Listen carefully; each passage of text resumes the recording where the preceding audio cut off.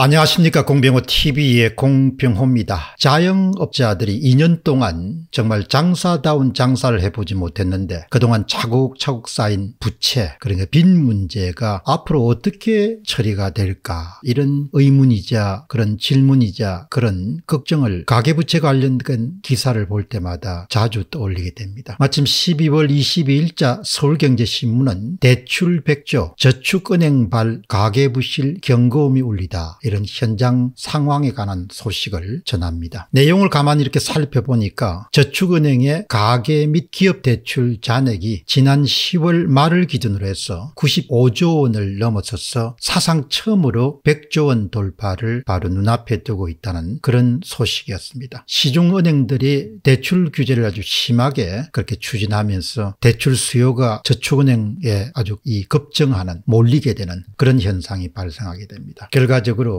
전년 대비 증가율도 2004년 이후에 최대치를 기록하게 되었습니다. 한국은행 자료를 참조하게 되면 2021년도 6월부터 10월까지는 월 기준으로 전년 대비 대개 27%에서 28% 정도로 두 자릿수 성장을 했습니다. 가계부채가 특히 저축은행에 대한 가계부채가 그런데 이 같은 그 급증이 가져올 그 파급 효과에 대해서 나이스 신용평가는 최근에 발간한 2022년 2022년도 산업 전망에서 이렇게 경고한 바가 있습니다. 지난 2011년도 경험했던 저축은행 사태는 단기간 내에 대출이 크게 늘어난 이후에 12개월간 기준금리가 무려 5번이나 인상되면서 발생했습니다. 계속된 금리 인상이 부동산 경기를 하락시키게 되고 도심지의 프로젝트 파이낸싱 대출이 대규모로 부실화되면서 바로 저축은행 사태가 일어나게 된 것입니다. 근데 최근 2년간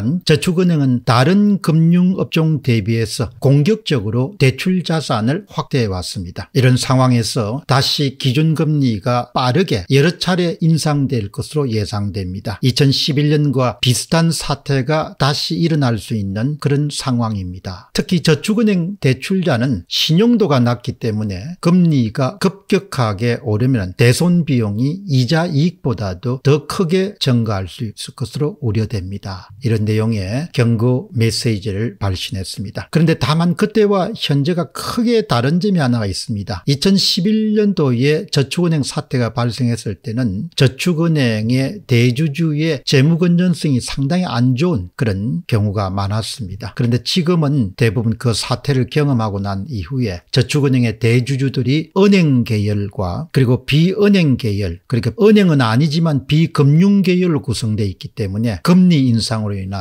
그런 부실이 발생하는 경우에 대주주가 유상증자를 통해서 충분히 문제를 극복할 수 있다. 이런 점이 2011년과 차이점입니다. 그런데 앞으로 이어질 금리 인상은 향후 전망에 대해서는 아주 여러 가지 의견이 나옵니다만 대략 이런 식으로 정리해 볼 수 있겠습니다. 2022년도의 금리 인상에 대해서 이주열 한국은행 총재는 내년 3월 말 퇴임 이전까지 기준금리를 최소한 두 차례 정도 올릴 것으로 봅니다. 또한 2022년도에 전 세계의 화두는 코로나19의 극복을 위해서 풀었던 막대한 통화를 회수하는 유동성 흡수와 금리 인상이 될 것으로 봅니다. 금리 인상이 세계적인 대세로 자리 잡게 되면 역사상 유례가 없던 유동성 파티가 끝을 맺을 그런 조짐이 확연합니다. 경제 전문가들은 한 목소리로 이렇게 주장합니다. 돈줄을 본격적으로 조이기 시작할 때 본격적인 고통이 드러나게 됩니다. 그렇기 때문에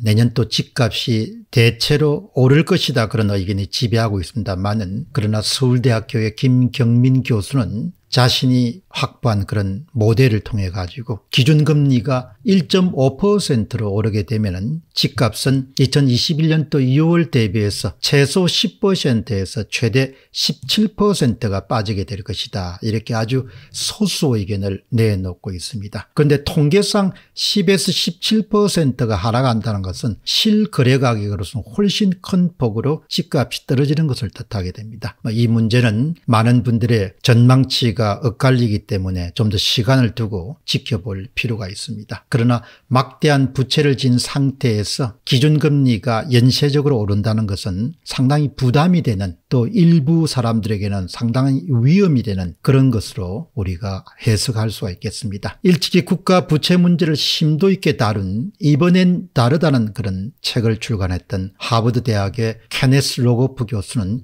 역사상 과도한 부채는 예외 없이 금융위기로 끝났다. 이런 따끔한 경고를 한 바가 있습니다. 그렇다면 우리가 지금 정도는 가계부채 상황이 과연 어느 정도 상황인가 이 점을 한번 살펴보도록 하겠습니다. 2021년도 8월 달에 한국경제연구원의 이성숙 박사가 발표한 가계부채 현황 분석 및 시사점이라는 그런 짧은 보고서가 한국의 가계부채의 실상에 대한 부분을 많은 것을 이야기해 주고 있습니다. 현재 한국의 가계부채 현황은 2021년도 6월을 기준으로 해서 1936조 원입니다. 지금 정도는 한 2000조 정도에 육박했을 것이다 이렇게 봅니다. 2013년도에 천조를 넘어선 바가 있기 때문에 쉽게 이야기하면 2014년에 비해 가지고 약 8년 만에 가계부채가 두 배로 늘어난 겁니다. 그러니까 8년 만에 약 천조의 가계부채가 증가한 겁니다. 2020년도에 국내 총생산 GDP 대비해서 그 GDP의 수준이 1727조 원 정도로 거의 같은 수준입니다. 가계소득으로 이제 부채를 감당할 수 있는 능력을 나타내는 아주 대표적인 지표가 가처분 소득 대비 가계부채 비중입니다. 이것은 경제협력개발기구 한 30여 개 나라가 되죠. 3, 40개 나라가 됩니다만 OECD라고 그렇게 합니다. OECD 국가들 가운데 한국은 최 상인 170%를 차지하고 있습니다. 가처분 소득 대비 가계부채의 비중이 이것은 2008년도에는 불과 117%에 지나지 않았습니다. 그러니까 우리나라의 정부뿐만 아니고 기업뿐만 아니고 가계도 한 2천조 정도가 될 때까지 상당히 부채에 의존해서 많은 부분들을 활동을 해왔다 이렇게 볼 수 있겠습니다.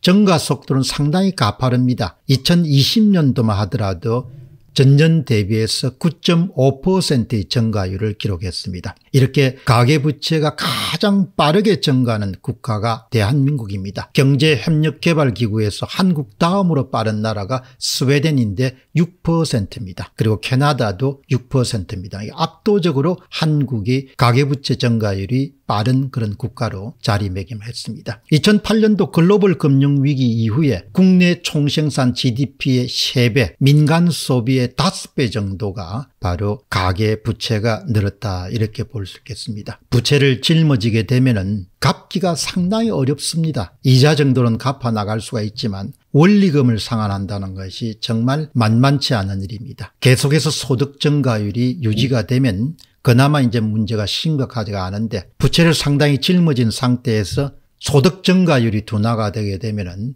겨우 이제 이자를 갚아 나가다가 위기 상황이 발생할 수 있는 그런 위험이 아주 높습니다. 그런데 12월 21일 날 통계청은 중장년층 행정통계 결과를 발표했습니다. 여기서 중장년층은 40세부터 64세입니다. 이 자료에 따르면 2019년 대비해서 평균 소득은 중장년층의 경우는 3.8%가 증가했는데 반면에 대출 잔액은 무려 7.1%가 증가했습니다. 부채 때문에 이제 앞으로 크게 홍역을 한번 치를 수밖에 없지 않겠느냐 그런 생각을 하게 됩니다. 이제 언제 그런 홍역이 올지 또 얼마만큼 그 파급 효과가 클지는 두고 봐야겠습니다만은 정말 대한민국의 부채 문제는 정말 이렇게 크게 어려움을 겪지 않고 그냥 넘어가기에는 너무나 큰 문제다라는 점을 여러분들에게 말씀드리도록 하겠습니다. 공병호 TV의 공병호였습니다. 감사합니다.